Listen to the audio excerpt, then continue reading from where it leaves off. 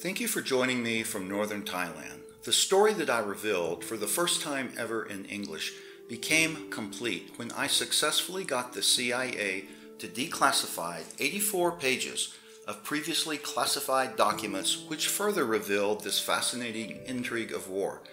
These are the documents you see as part of the largest paramilitary operation the CIA has ever undertaken, that being the secret war in Laos, a group of young CIA employed English speaking Thai men played an extraordinarily unique role, an anomaly of warfare that had never happened before and almost certainly will never happen again. The largest ever CIA paramilitary operation was in Laos during the Second Indochina War, the Vietnam War as we call it in the U.S.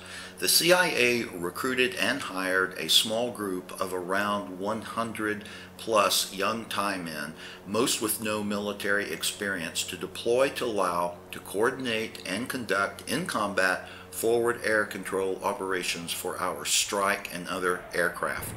These young Thai men's only qualification was speaking English. They were recruited off the streets in many cases, many from plain looking newspaper ads then given 14 days forward air control training by our Special Operations Air Force personnel here in Thailand, combat controllers or CCTs, and sent into Laos to battle with communications devices as their weapons, coordinating our aerial bombing, aerial medical evacuation, and air resupply to ground forces.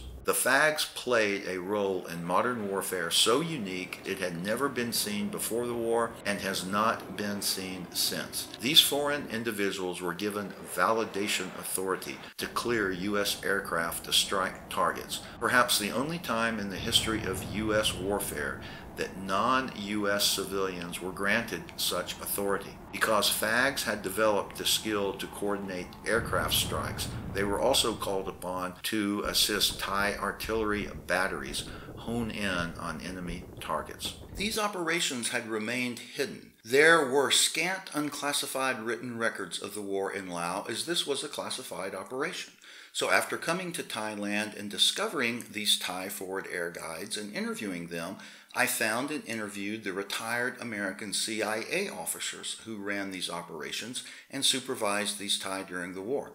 I then found and interviewed the retired U.S. Air Force Special Operations Combat Controllers who trained these Thai in forward air control procedures for two weeks at Udon Thani Royal Thai Air Base. Finally, I got these declassified CIA documents. So, from all of these sources, I was able to piece the story together. And now, I'm going to share with you. This video is an introduction. For the full exciting story, read my article on the Thai Forward Air Guides in the Studies in Intelligence Journal of the Intelligence Professional, and my book on the subject, both free downloads located at my academia page. By 1970, the U.S. had begun its drawdown from Southeast Asia. To protect Thailand, its ally, the U.S. and Thailand secretly created the Unity Program, an initiative to train and mobilize a large Thai force to fight in Laos, financed by the United States. Unity led to the deployment of up to 17,000 Thai soldiers in Laos by 1972. In 1971, a U.S. pilot mistakenly dropped ordnance on a group of Thai troops, killing 16, including two Thai commanders. Thus, there was a need for forward air controllers on the battlefield to coordinate airstrikes. In response, the CIA, who was conducting the ground war for the U.S., institutionalized the concept of forward air guides, ground-based air controllers given a unique, if uncomfortable acronym, FAGS, to differentiate them from airborne forward air controllers, or FACS. The CIA began recruiting over 100 military-aged English-speaking Thai males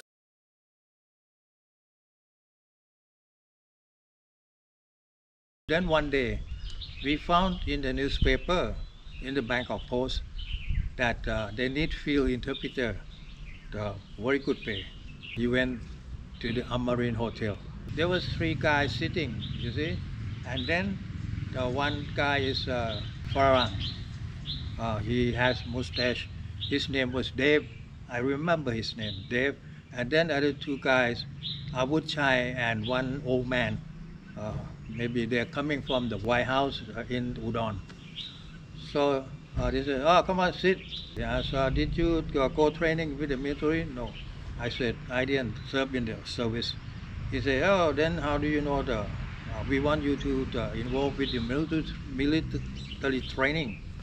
He said, oh, I, I, I learned something. I used to be field interpreter in the Northeastern Technical School, uh, which is now Mahavidyalai Isan in the Korat. He said, oh, fine. Uh, do you know the the Thai guy? He asked me, do you know Pun Yai? I said, artillery. Oh, he said, good. Vira answered a few more of their questions successfully and was told to await a telegram. It came directing him to a Thai border police office from where he was transported to a Royal Thai Air Force base, sending them to a 10 to 14 day combat controller class, CCT, taught by U.S. Air Force CCTs. After classroom training, the instructors conducted a live fire training exercise at the T-28 aircraft bombing range.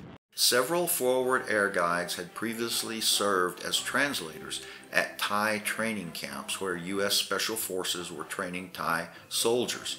One, Sawat Songling, Big Mo, first started as a translator in 1959 working for U.S. Special Forces in Laos.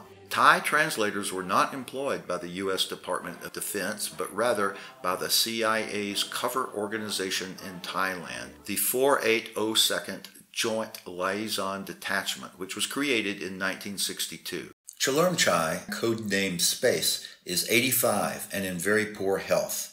He was a French and English high school teacher and then spent five years as a U.S. Army translator in the J1 personnel section, then four months as an interpreter at a U.S. Army Special Forces training camp training Thai infantry before recruitment as a forward air guide.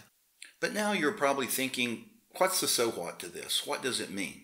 Well, this story culminates in the longest battle of the Second Indochina War, from December 1971 to April 1972, where 19,000 battle hardened North Vietnamese fought a mixed force of 4,000 Hmong, Thai, and Lao defenders, with CIA officers commanding, the Thai forward air guides playing a critical role, and U.S. Air Forces, to include the Ravens, providing support. The U.S. and its allies won this longest battle of the war, which most likely you have never heard of, called the Battle of Skyline Ridge. In combat, FAGs were executing multiple complex tasks simultaneously. When the North Vietnamese and their allies, the Communist Pathet Lao, were pressing attacks, FAGs were coordinating with U.S. helicopters to land and evacuate the Thai dead and wounded while synchronizing airstrikes in a deliberate effort to keep the enemy from destroying the vulnerable helicopters. Simultaneously, they coordinated with the Thai Battalion for combat operations and medical evacuation locations, talking with CIA proprietary aircraft such as Air America, Continental Air, and others. Such maneuvers would be difficult even in normal circumstances. Facing an enemy shooting artillery and mounting ground attacks made the maneuvers particularly perilous.